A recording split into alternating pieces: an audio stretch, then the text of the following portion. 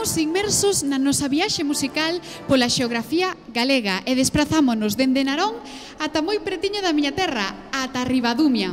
Estos superartistazos interpretaránnos La Coruña de Johan Nis, Dakota de Jacob de Han, Highlights from Harry Potter de Michael Story e despediránse con O Chopo de Manuel Iglesias Domínguez.